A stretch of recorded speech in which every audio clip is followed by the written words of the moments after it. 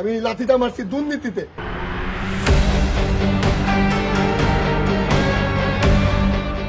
তেইশ December Bangladesh body building ফেডারেশনের পুরস্কার বিতরণী অনুষ্ঠানে ফিক্সিং এর অভিযোগ তুলে পুরস্কারের লাথি মেরে আজীবন নিষিদ্ধ হলেন বডি বিল্ডার জাহিদ হাসান শুভ। পুরস্কারের লাথি মারা সেই ভিডিও রীতিমতো ভাইরাল সোশ্যাল মিডিয়ায়। আর এ নিয়ে চলছে নানান আলোচনা সমালোচনা আজীবনের জন্য নিষিদ্ধ করায় তীব্র প্রতিবাদ জানিয়ে আইনের আশ্রয় নেওয়ার ঘোষণা দিয়েছেন জাহিদ। জানান, দুর্নীতি আর অন্যায়ের বিরুদ্ধে প্রতিবাদ করে কোনো অনুশোচনা নেই তার। সুবিচার না পেলে মানববন্ধনও করতে চান তিনি। তবে অখেলার সুলভ আচরণের জন্য ক্ষমাও চেয়েছেন।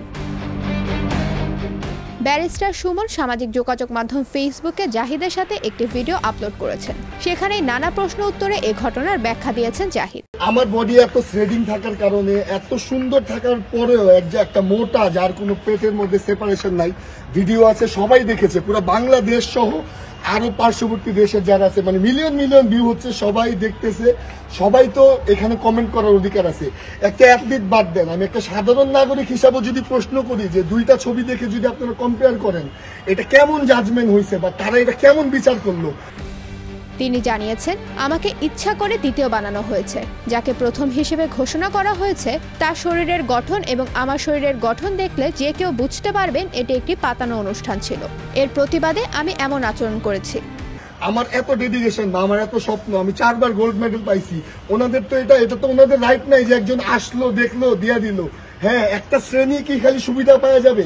আমার বাবার টাকা কম, আমি মধ্যবিত্ত, আমি ক্রানীগঞ্জ থেকে আসছি। এর জন্য কি আমি কোনো সুবিধা পাবো?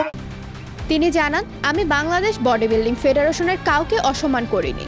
আমার সঙ্গে যা হয়েছে তা দুর্নীতি। লাথিটা আমি পুরস্কারে নয় দুর্নীতির বিরুদ্ধে মেরেছি। দুর্নীতির কারণে এরকম অনেকেই তাদের স্বপ্ন বাস্তবায়ন করতে পারেনি।